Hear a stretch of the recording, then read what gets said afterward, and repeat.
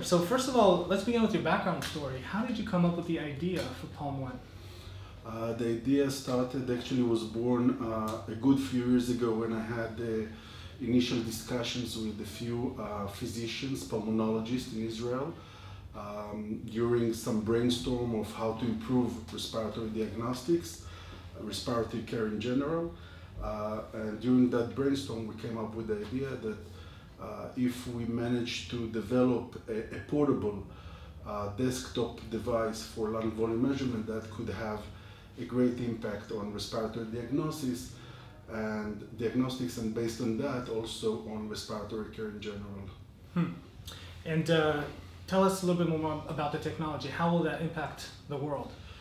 Uh, the main the main advantages in uh, having a respiratory diagnostic which is based on a desktop portable device is being able to diffuse it from hospital level where it is right now uh, to rural areas to community settings and by that allow much more people uh, to be exposed to respiratory diagnostics get diagnosed uh, and get monitored uh, more frequently uh, and by that uh, get respiratory care by medication or any other kind of treatment that is required much more often, much more regularly, and on a much higher level.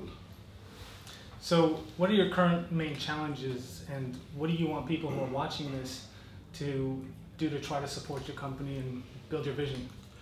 Uh, our main challenge now, since we have all the regulatory approvals basically in place and we have a commercial device, the main challenge is going to the market, uh, just uh, getting close or getting in touch uh, with potential customers, namely pulmonary practices, hospitals, primary care practices.